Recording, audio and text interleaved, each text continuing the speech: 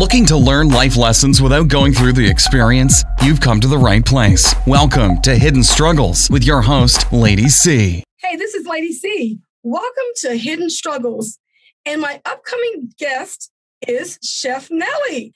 Hello. Welcome to the program, Chef Nellie. We're going to talk all about your life and the things that you've been through and, and what you're been what you're doing to be an entrepreneur and you know how you got to where you are today. So you want to give us a little bit of background about your your business and how you got into the uh, cooking industry? Absolutely. And thank you so much for having me. So, honestly, it started from many years of doing different catering, businesses different ideas and they just they weren't sticking you know? And and so i had to find what is going to work with these people. So i just on a whim um decided to start my social media page. I went on instagram and said you know what? I'm just going to throw some ideas out there and i'm going to see what works with the audience. Um and so i said but i don't want to just it only narrow myself down so I said, let's do like odds and ends, odds and eats.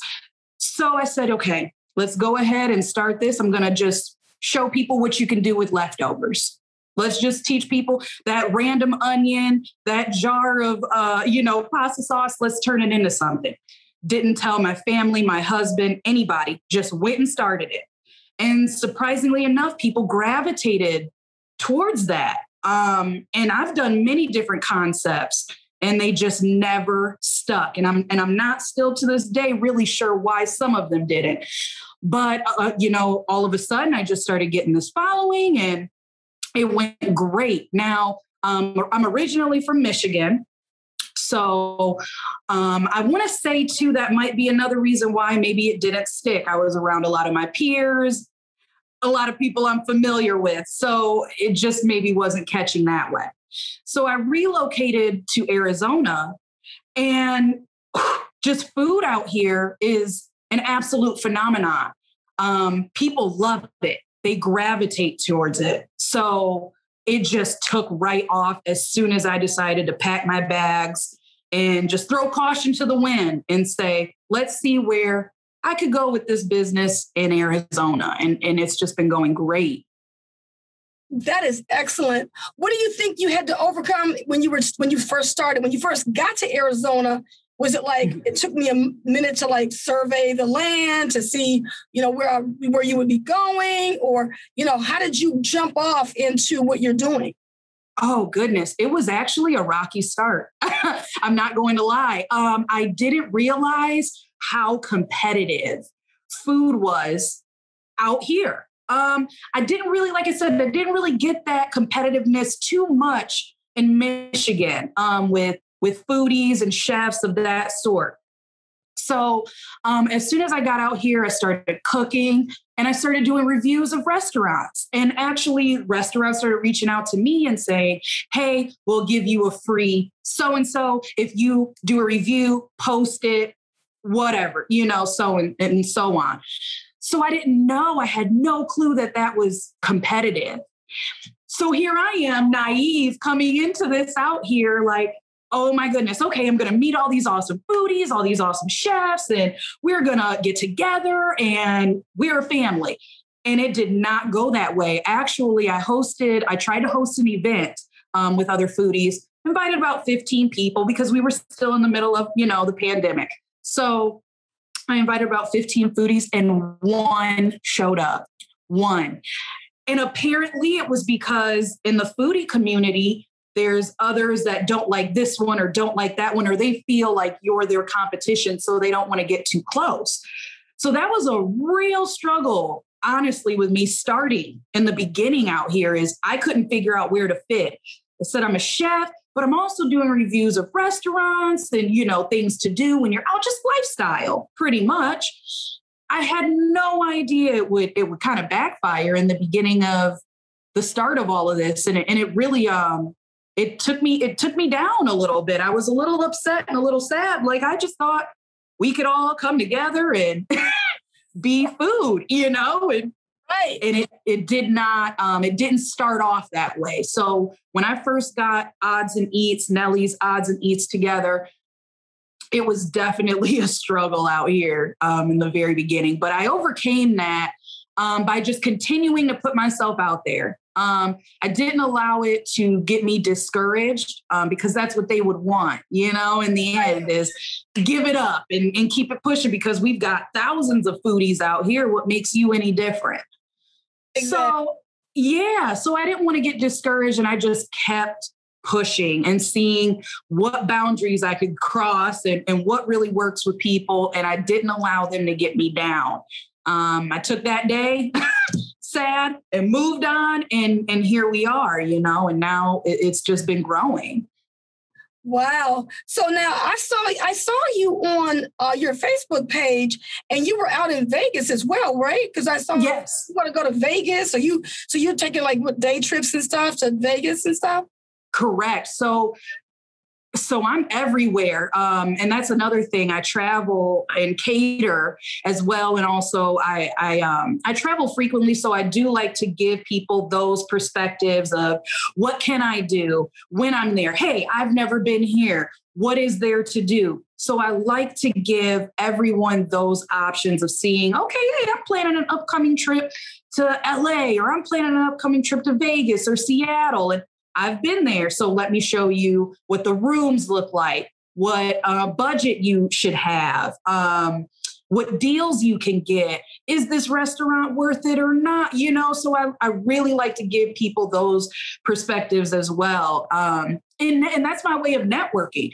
A lot of people say, you know, well, how are you going here and how are you going there and why are you doing this? And honestly, it's to get my name out there Right. You, you know, you lose every chance you don't take. So sometimes it's just on a whim. I say, you know what? This is going on in this town. Let me go ahead and, and see how that works out with my schedule. And I'm just going to go. And half the time I just pack my daughter up and, and we and we head out. And it's lovely, you know, the responses I get from people from that too. They never know. What about, let me ask you this what about your your first big catering gig? You know, how did you end up getting that? Oh, so that was actually through networking as well. Um, when I moved down here, I had joined a Facebook group of other moms, just looking, you know, for a support group. I didn't know where to start. Okay. And so I ended up saying, you know what? I'm going to host a brunch for these women we're all moms we're tired you know we work right. we're hardworking women in general in general even if you're not a mother like you're just hardworking in general. So i said you know what? Let me say i'm going to throw an event i'm going to cater and i'm going to let these women taste my food see how they like it see the response. And through that way having women coming over it just took off. Then they started telling other people about my business. And then also through Instagram, they would start following me, their friends would start following me. And I had a woman reach out to me and say, Hey, um, I live in Seattle, but I'm going to be in Sedona, Arizona. Could you cater for me? And I was, I was like, what?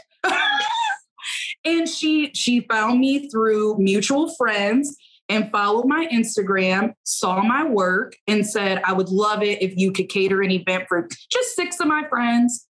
Keep it simple, barbecue theme. I said, absolutely. And from there, now I've just gotten people, hey, I live in this state. Are you able to come here?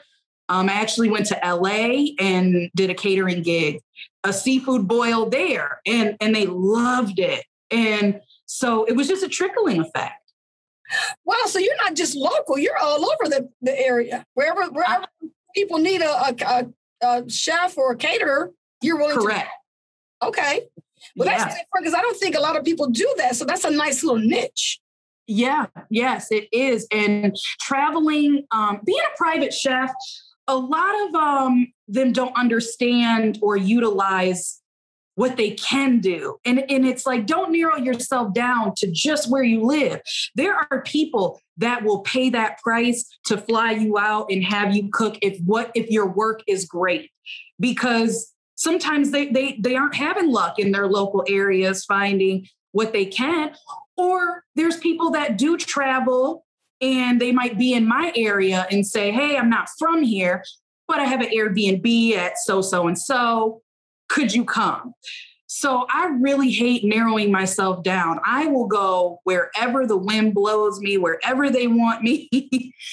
I am there. That is so good. Now, I, I noticed that on your page, you also have your own spices. Yes, as you mentioned that, my um, Chef Nellie Anytime seasoning over here. So, and I do have that listed on the back for everybody too, so they know what you're getting in here. But I've got um, seasoned salt, paprika, cumin, lemon pepper, uh, garlic. Uh, uh I mean, it's just you open this bottle, it, it's an array of just flavors, um, oregano, basil. And you can use this on anything. And that's why I call it anytime seasoning because you can use it on meats, uh, poultry, uh, fish, seafood, vegetables, anything. Literally, you can put that on it. Um, I do have uh, two other seasonings as well. Um, I sold out of them, so I don't have those available right now. But um, that one, I have a smoked out seasoning. It's a sweet chili lime. It's gluten free. Um, that's more for your barbecue. Um, if you kind of want to give something a little smoky flavor, then I also have a gluten free and salt free anytime seasoning. For those who are more sensitive, you know, you have to think about those things. A lot of chefs don't. Right. And one of the things I want to make uh, clear to my audience is that Chef Nellie didn't just go to a culinary school and learn how to cook. She comes from a family of cooks. Yeah. You know, she got way back. So it was not like she just woke up one day and said, I wanted to cook. You know, you oh, want to talk no. about your family history in the food industry?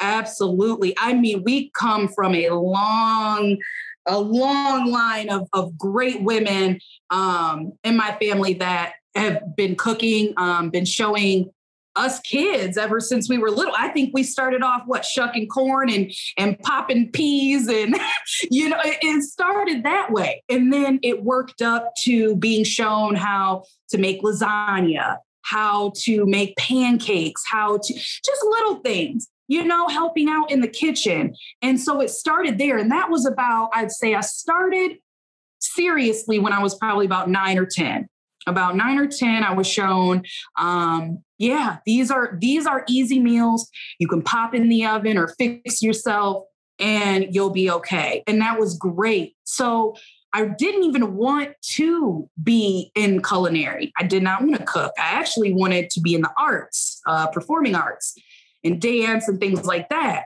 So once I was about 17, um, because I started college a little early. Um, I, I didn't really know what I wanted to do. You know, I said, ah, dance is great, but what can what else can I do? And there was a culinary program. And I said, let's just give it a go and and see what happens. I said, because growing up, I remember doing so many little things, you know, with the women in my family and us coming together and cooking these meals and having family over and family barbecues, you know, and it could have just been even something so simple as helping to make the barbecue sauce. You know, it, it's those things that you retain and they stick with you forever, no matter what your your path may be. And in my own opinion, because I didn't really even I went to culinary school and I didn't even get a passion for cooking until after culinary school. Ironically. Oh my goodness. So then what made you want to go to culinary school then? It was just I, well, the the college I was going to, they had actually gotten rid of the performing arts program as I was getting started. So that's why another reason I said what am I going to do? I said I can cook a little bit, and but I and I don't want to be a nurse blood? No way. So those were like the only two main programs they had at this community college.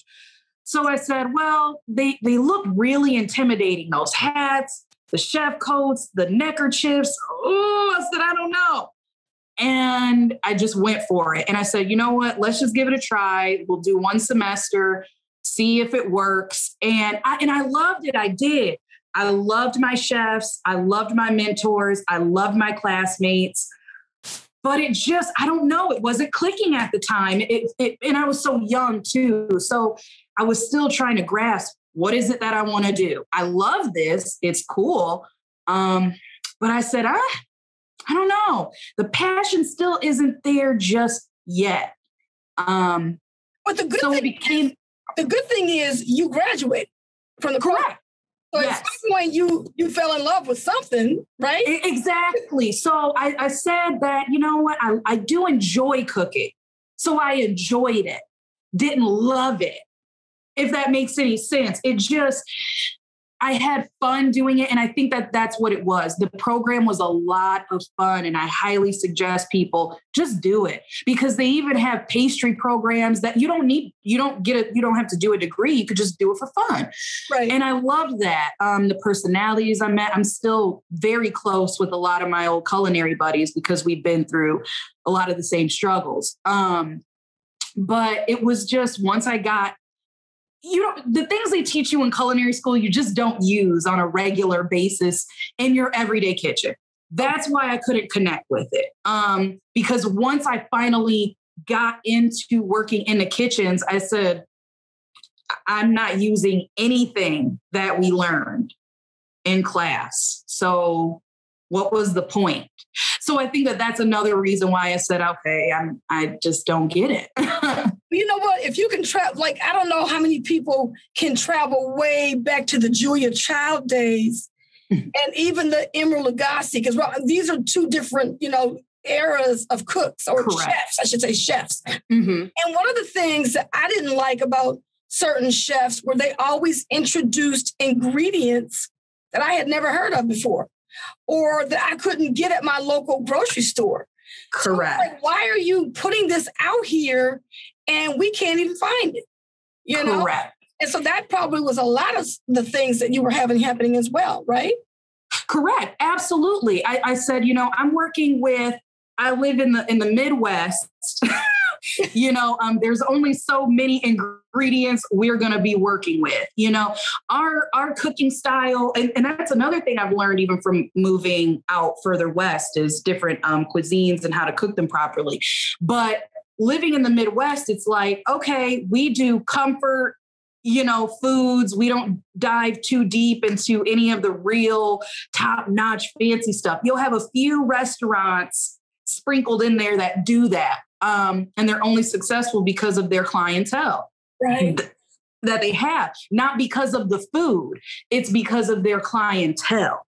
So that was that was the struggle. I said, when am I going to cook with any of these things? This isn't something that I eat or anybody else eats on their normal regular basis. So that was another thing that kind of took me away from it is I don't know it didn't stop me from learning about those ingredients mm-hmm. but it definitely was just something that I couldn't put out for for my audience that people would gravitate to. Right. Now, what is your goals? I mean, do you plan on remaining a personal chef? Do you think that if you got a call from a celebrity that wants a personal chef, you would take that opportunity, or you just gonna keep keep hanging out solo? As I am going to always continue being a private chef. Um, and I'll dig in and dive into that. I don't want to like go ahead of myself, but I'll dive into as why I want to remain um, a private chef. But no matter if I have my own restaurant, which I would love, um, my own restaurant, my own food truck, the the limit is never endless with that. That is the goal. I would love that. Um, I love the look on people's faces when they have my food. Um, I see how it makes them happy. Just food makes people feel good you know? And that's all I'm trying to do. So that is my end goal restaurant, food truck, absolutely. Um, but I will never, ever, ever stop being my own boss, stop being a private chef, um, because I mean, in the realistic part of that is the money's in it. I mean, you're missing out on an opportunity. If it's if it's what you do and someone's calling you and saying, "Hey, I have an event in 2 months, can you you know, yes, why not?" You know, I, I just don't feel like turning down those opportunities. It, it's just not something I'm ready to do yet. I'm not ready to give that up. Um, I've been catering for about 10 years, I want to say 10 or 11 years, I've been catering. Um, and I've been working in restaurants for 15 years. Hey, what was that like working for somebody else? That's that is why I will remain a private chef is because working for other people was the worst struggle as a female chef.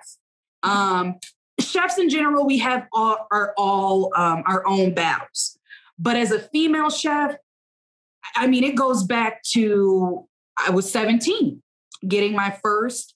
I was on the line. I was a grill cook at a chain restaurant. And I go in for my interview, and the first thing the manager says when he interviews me is he looks me up and down and says, mm, You sure you want to be a chef? I said, Well, yes. That's why I applied. He said, But you're too pretty. Um, are you sure you don't want to be a server? I said, Absolutely not. And at that time, I had already done two to three serving gigs before I finally said, I just want to be back at the house. So I already did serving at fine dining and, and little mom and pop diners and everything. I hated it. I wanted to be behind the scenes and cook for people.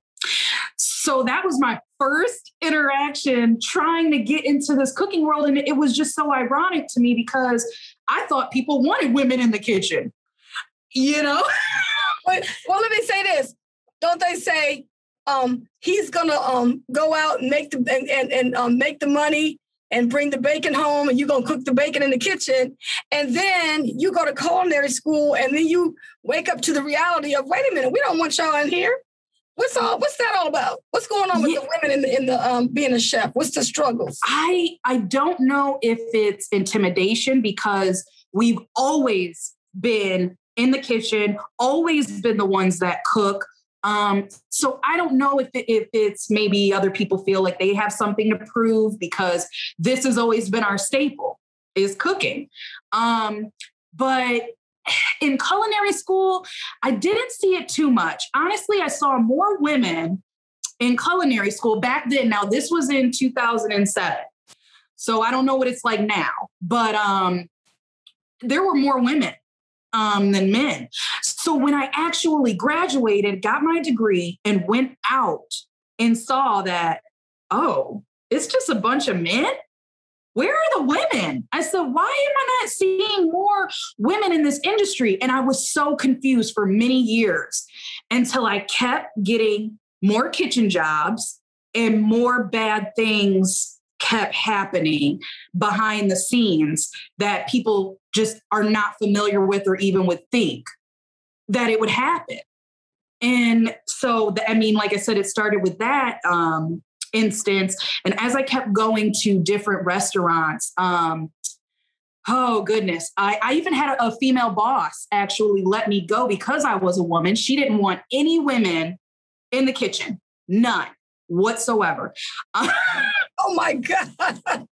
What was that? That was odd. she is a woman, so she's discriminating against other women.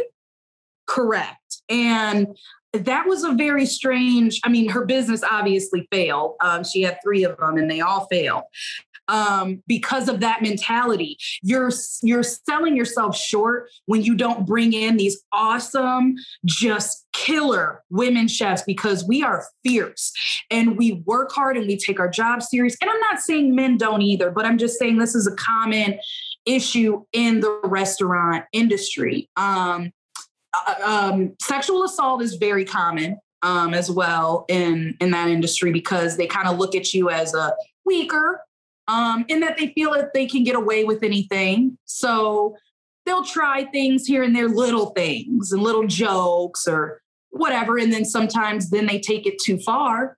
Um, and that's happened at at least two or three restaurants I've worked in, worked at. That's personally happened to me. I've gone to authority, but nepotism was alive and well. so when you when you have when you have your family and your aunt and your your your cousin as your boss, who am I? I'm no one. They could let me go and, and replace me easily.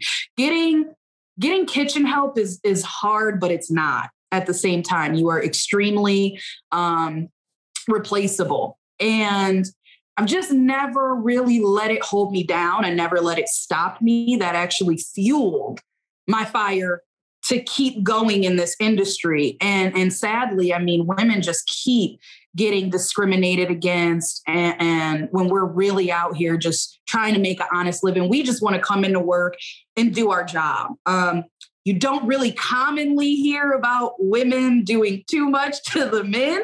Right. you know, in that in that field. But it's happened too. It's happened as well. Do you think that because you know how there's always been a history where men make more money than women? Mm-hmm. And I do know that in fine dining, there's a lot of money that can be made in those restaurants. So it could be, could it be the fact that the money is there for the chef, for the culinary chef in the restaurant? Oh, the money, the money is there for the men. Um, I had worked a job where I was making at least four to six dollars less than the men, and I had more experience.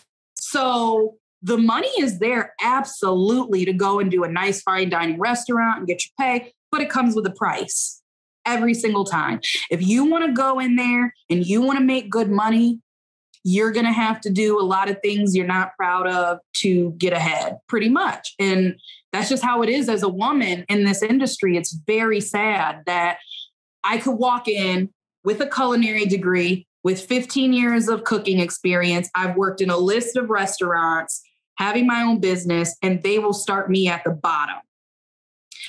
But here comes the chef that walks in off the street. He's, you know, worked at a couple mom and pop diners, you know, dirty chef coat, no, you know what I mean? And right. he'll make six more dollars than I will. So it's just so terrible that they would just discriminate like that.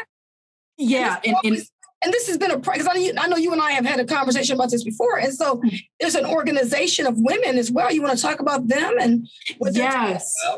Now, there is a great organization um, that I work with, MAPP. Um, I just started working with them. So they're a great organization um, that works with women in the culinary field. And basically, it, it's like a support group um, in a sense that you're not alone. This person went through that as well. And what we're here to do is know that we're going to support each other. We're going to lift each other up. We're going to get our name out there we are going to be heard. You're not going to silence us of the struggles that we have been through and everything else that we have been through.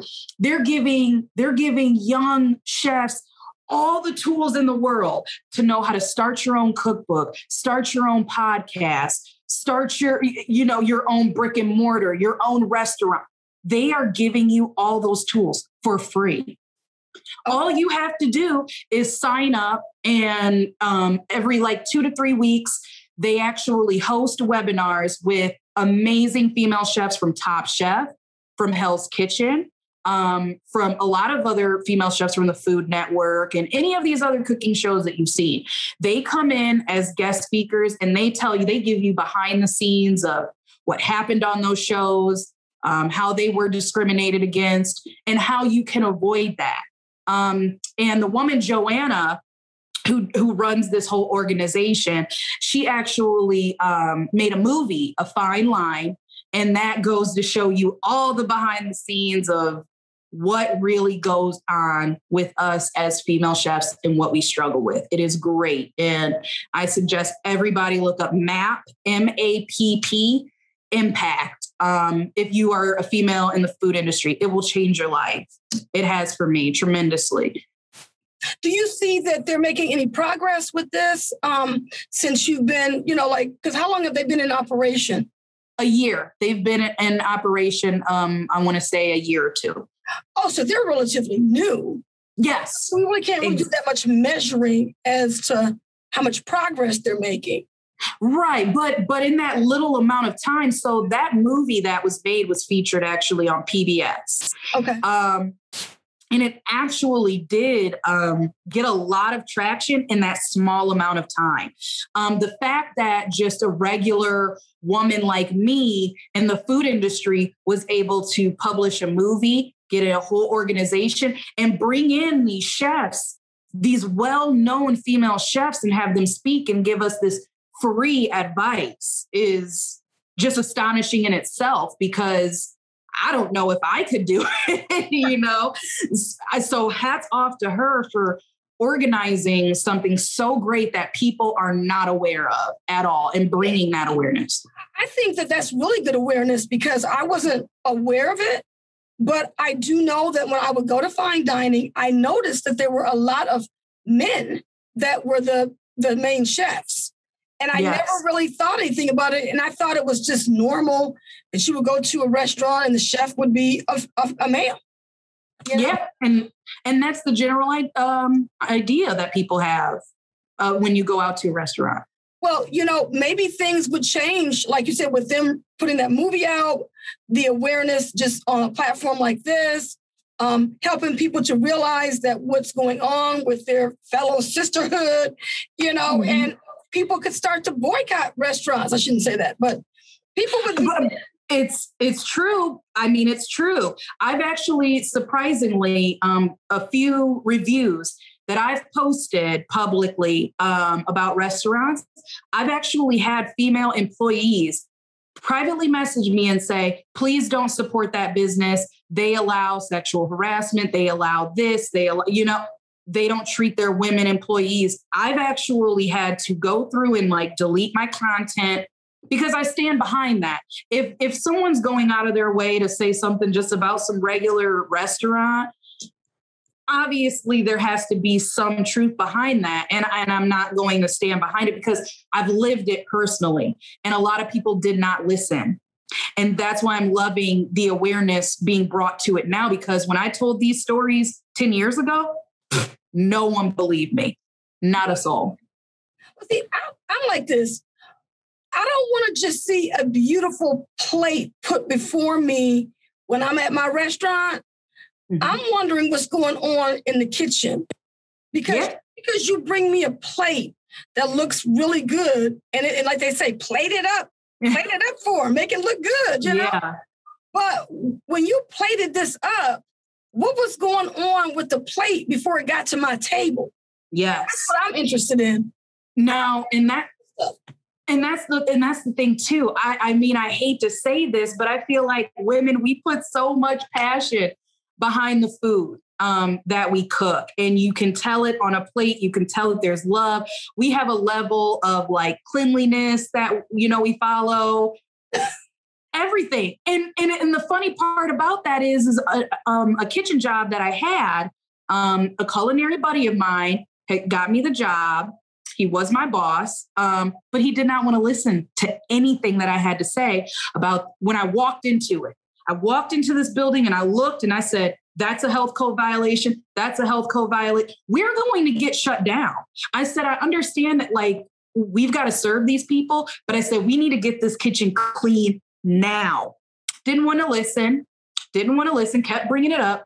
Health inspector comes, shuts us down, says, shut it down. This needs to be cleaned. You can't function with this. this like, look at all of this. I said, I'm just saying.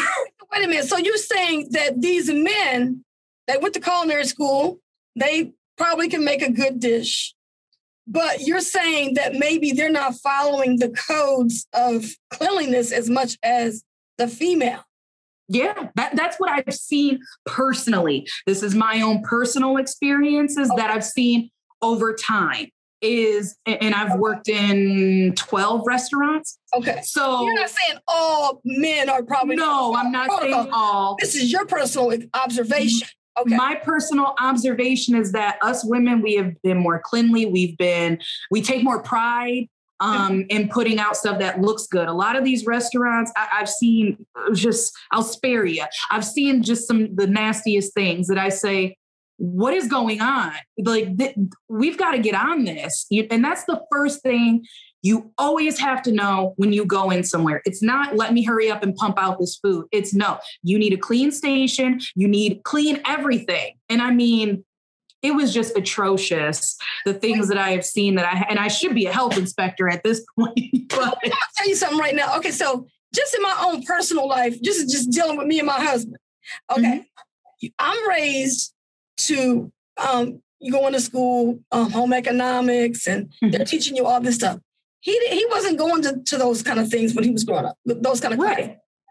So it's like when I go in the kitchen, um, I'm not cooking anything until my whole kitchen is clean. All the dishes got to be either put out the dish rack or they either got to be stacked in there. Yes. Counters are in. My husband can come in there and just start cooking, and, and he don't care if if dishes are still laying around. He's just gonna find a spot and he right. make some eggs and all that. But the other thing I find is I was taught the order of operation, right? So the order of operation is you don't wash a pot and pan before you wash a glass because a glass is not going to be used to cook with. Because, you know, when you wash a pot and pan, you know, that's more dirtier than a Mhm. glass. So you're going to have the order of operations for when you're cooking, when you're when you're cleaning. Um, you're going to make sure you cut up the vegetables before you do the meat. I don't think men really think about that kind of stuff. No, they they just go in and they say, "Here we go," and here here we do it. And you know, and if you watch a lot of these um, shows where like Gordon Ramsay or Jon Taffer, Bar Rescue, whatever, they go into these restaurants, right? And they're like, "It's filthy, it's dirty." Who do you always see as the owner of these places? A man. You rarely, you rarely, rarely, rarely see women owners. It, it, it's about, I can count on one hand how many times he's gone into a strictly woman owned business, any of them, and said, it's filthy here, it's dirty here. You're giving And me that's just something to think facts. About now, when I see a man in the kitchen, I might not want to. I mean, I, like I'm not gonna say I don't want to eat at a, an establishment. It's owned by men, but I'm talking about like mom and pop restaurants. Yeah, But you're going to be cautious. Yeah, but they're generally like family owned, Mhm. mom and pops. Right? Yeah. And and I will tell you, surprisingly, some of those mom and pop restaurants take their cleanliness serious Mm. because they're smaller. They have a target on them. Um, and they have a stigma of being, if you're a diner or whatever, you have that stigma of, oh, it's probably greasy spoon, you know, dirty place. So most of them actually do a really great job of, of upkeep and making sure it's clean and, and your station's good. Um, and I've worked at a couple places like that. Just the management was awful, but they were very on you about the cleanliness and making sure they're good because they wanted to live up to that standard. Right. So now it's just bringing awareness, you know, and making sure you're cautious and when you go out, you know, just be mindful. Look at little things. Well, well, you're giving me a big education here because, like I said, I mean, I do watch. Now, when I go to a like a short order cook, maybe I'm at a diner where Mhm. I'm at like a, a deli. Mhm. And what I will do is from the moment I enter the deli in the line to order my sandwich, I watch what happens to the rag. I watch how often they clean the knife. I Mhm. watch how they interact with different things in those little bins and whether or not they're, you know, like allowing certain foods to contaminate other foods and Yep. each other. I'm watching all of that. Mhm. And my husband said he can't believe I go out to eat. He said, because you don't see what they're doing behind the kitchen. Because right Yeah. I'm at the deli, I can see all that. Oh, yeah. you don't know what hit the floor before they put it back on your plate, you know. But that's why you have a little glass of wine.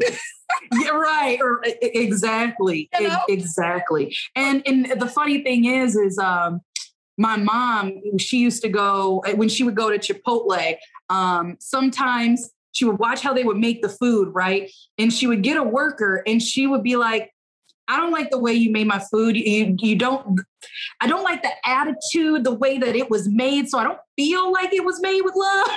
And and there's just stuff everywhere. Could you remake it? oh my God. give me somebody else. And you know what? It's like, honestly, I mean, I'm like, mom, just let it go. But at the same time, it's like when you watch somebody just in front of you and they're just with your food, and it's like, at this, I don't even want it. You know? Exactly. Well, you know, I feel like, you know, if I work in a paper mill or I work in a, a store where I'm just, you know, like stacking Kleenex on a, on a on a shelf or something, mm-hmm. you know, you're not getting ready to eat that. No, right. teach, when you start treating my food like it's a log that is going to be put on a fire and get ready to be, you know, like you know, in my in my fireplace, you know, Mhm. it's going to get some some um some fire and it's going to get some you know, some cleanly. Uh, it's going to get clean with the with the fire, right? Yes. Start messing with my food that ain't getting ready to go through that kind of a process, then we got problems. You know. Correct. Exactly. So, um, I try to, you know, I try. I like to eat out because sometimes I don't like cooking. So right. I am I am a person that will keep a small business in business. Hello. Okay. But I'm also the kind of person that probably don't need to be in that business because I'm so picky and and, and persnickety about yeah. right. and, and and I want people to know too, don't like don't feel uncomfortable speaking about what you see because that's why those people are staying in business is because people are afraid to say um no that glass is, dirty.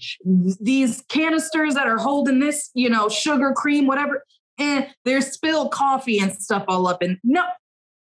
Listen at some point it is okay to speak up and let people know like i just could you wipe down this table? My seat still has stuff from the previous you know people I have never, in, in all the years that I have worked in this industry, I will never be afraid to call them out and come and clean something because you have all these employees.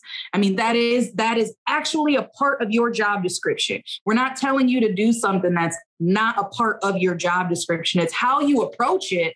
But there's absolutely nothing wrong with making sure that you mention to these people, like, this you might want to can you write this down or can you get me a fresh one of these or I'm telling you, That's... and I think especially during COVID, because you know, I'm just I don't I'm not gonna even mention things. I don't want to give anybody any, any ideas, but mm-hmm. I watch everything when I go mm-hmm. places mm-hmm. and be like, I don't know if I want to eat that, or I'll find a way that, you know, when I go out, I will find a way that I'm going to order something that I can only use a, a spoon or fork to eat with. Mm-hmm. Because sometimes, you know, I can't find a place. I may have gone into their restroom and I don't see that there's any soap in the bathroom. Of course, I probably shouldn't even be eating in there, right? Right. Uh, yes. Find a way because I mean, sometimes you're traveling. Yeah. And you don't have a choice. You don't have Correct. You can't just walk out of there because you don't been driving for five or six hours and you in the middle of nowhere. You got to grab something to eat. So you try to eat with, you try not to eat with your hands if you don't have mm-hmm. to.